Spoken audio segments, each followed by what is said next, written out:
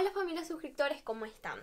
El día de hoy este, traigo un video diferente. Realmente estaba pensando como que qué broma le hago a Yeuri, la verdad no se me ocurrió una.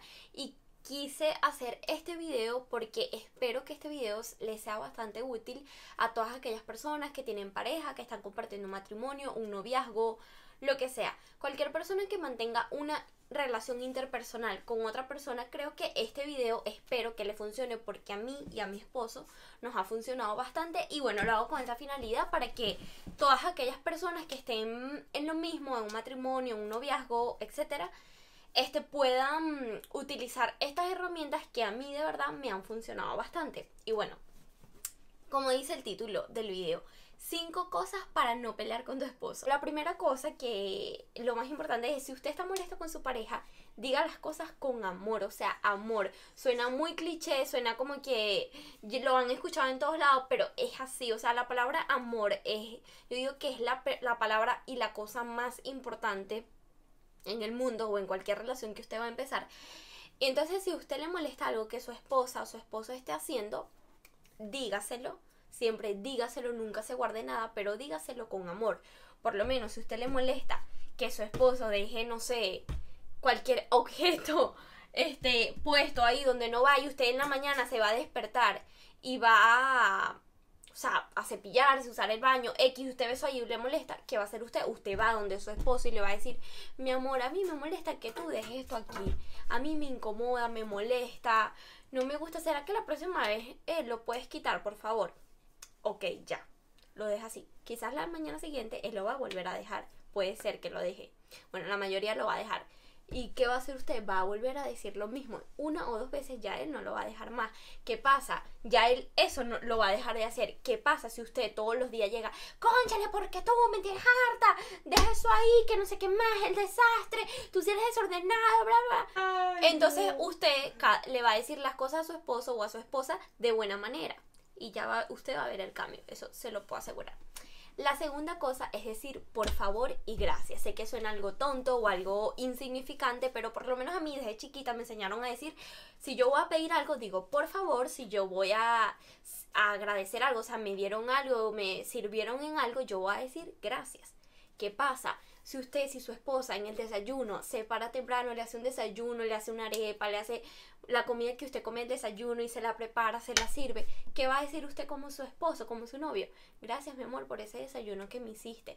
O usted, su esposo, la llevó a hacer una compra y usted no tuvo que manejar el manejo por usted, o se bajó, hizo el mercado por usted. Cualquier favor, o sea, lo que sea que él haga por usted, ¿qué va a decir? Gracias, mi amor, por tal cosa que hayas hecho.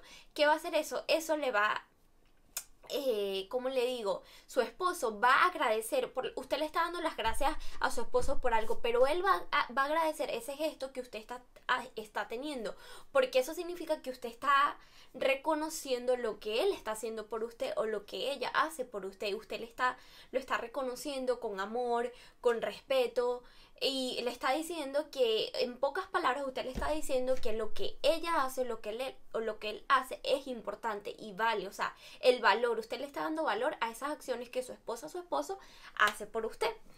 Bueno, la tercera cosa. La tercera cosa es no nunca irse a dormir si duermen juntos comparten un matrimonio, una casa, una cama, un cuarto, nunca irse a dormir peleados.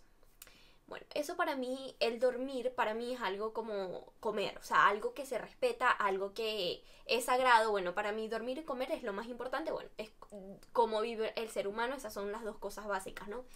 Pero el dormir este, para mí es muy importante si tú compartes habitación con alguien, si tú compartes cama con alguien, sea la persona que sea, si sea tu amiga, así sea tu amiga, tu hermana, con cualquier persona que usted comparta su cama, nunca se vayan a dormir peleados o disgustados o molestos, nunca.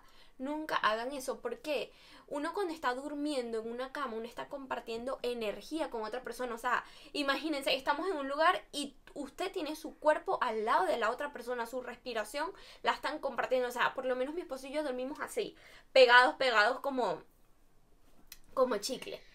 Sea la manera en que usted duerma, eh, pero usted está compartiendo una cama, usted está compartiendo su energía, usted está compartiendo su respiración. O sea, para mí es tan importante dormir, o sea, para mí es lo más importante, ¿no? Entonces nunca se vayan a dormir peleados porque...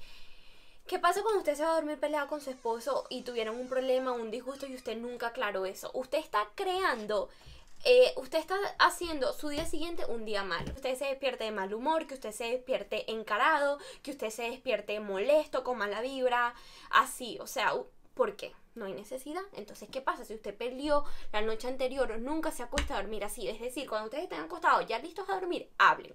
Aclaren el problema, digan qué te molestó, qué no te molestó, además llegar a un acuerdo, lo que sea. Pero hablen. La cuarta cosa, siempre llegar a acuerdos. La, o sea, cuando nosotros tenemos una relación debemos aceptar, ser conscientes de que todos en el planeta Tierra, todos los seres humanos son diferentes. Mi esposo es diferente, yo soy diferente y por ende tenemos pensamientos diferentes, criterios de vida diferentes.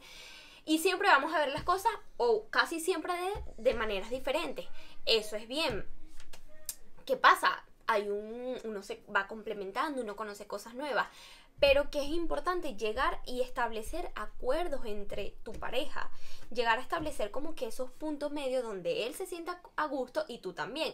Casi siempre uno como persona va a tener que sacrificar algo, o él algo, o a ti algo que no te gusta, o whatever, pero tratar de llegar a un acuerdo donde los dos se sientan a gusto, siempre llegar a un punto medio, nunca ni más para allá ni más para acá, simplemente en el medio para que los dos se sientan a gusto la...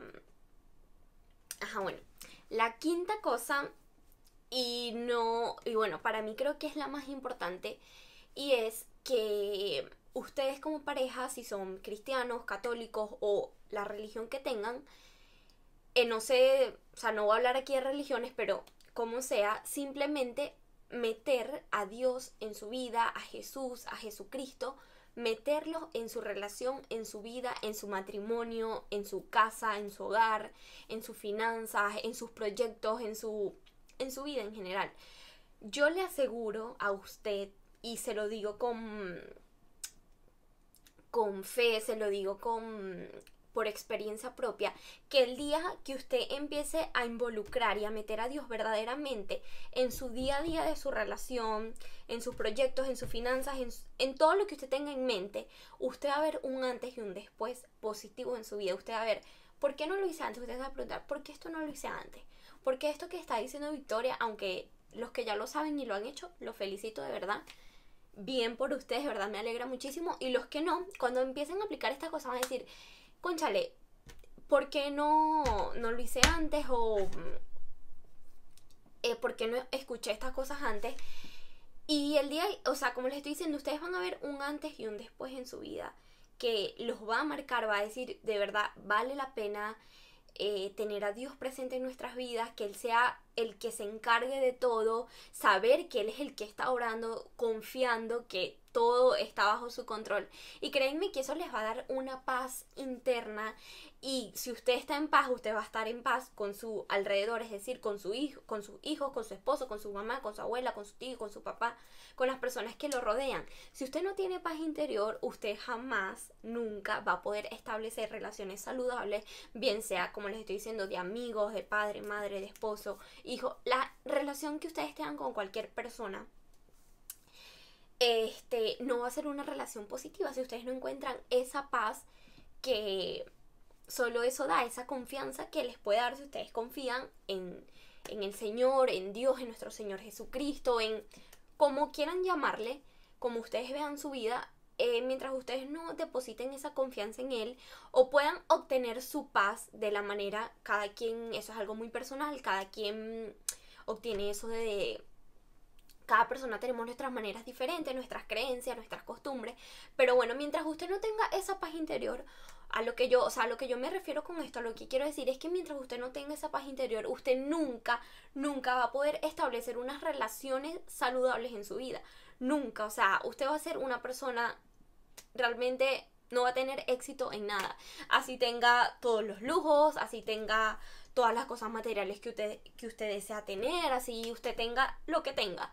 Pero si usted no tiene esa paz interior, nunca va a ser feliz con nada. Nunca. Así tenga, o sea, wow, así tenga como que lo más top del mundo, usted igual no va a ser feliz. Mientras usted no encuentre esa paz interior, no va a ser feliz. Sé que no estoy hablando de esto, pero ¿qué pasa? Si usted no tiene paz interior, jamás va a poder tener una relación saludable y estable con su esposo. Porque ¿qué pasa? Su esposo es la persona con la que usted comparte todos los días de su vida, su esposo es la persona con la que usted duerme, con la que usted come, con la que usted habla, con la que usted despierta, con la que usted se acuesta todas las noches. Entonces es como que usted termina el día con su esposo y empieza el otro día siguiente con él, o sea, con él al lado. A lo que quiero llegar con esto es que primero empiece por usted y cuando usted vea, o sea, cuando usted aplique esos cambios en usted mismo, usted va a ver ese cambio en la otra persona, pero mientras usted no cambie, usted jamás espere ver otro cambio en otra persona. ¿Por qué? Porque ahí no hay, no hay un intercambio de, de sentimientos, no hay intercambio de palabras, no hay intercambio de acuerdos, no hay nada. O sea, simplemente él es como es y yo soy como soy.